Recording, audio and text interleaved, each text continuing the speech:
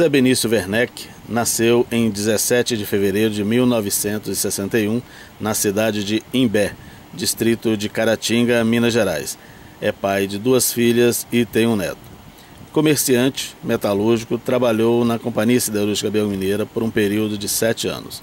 Foi presidente do Partido Trabalhista Brasileiro, o PTB, por seis anos consecutivos e eleito vereador nos mandatos de 1993 a 1996, 1997 a 2000 e 2001 a 2004, sendo eleito na época como vice-presidente.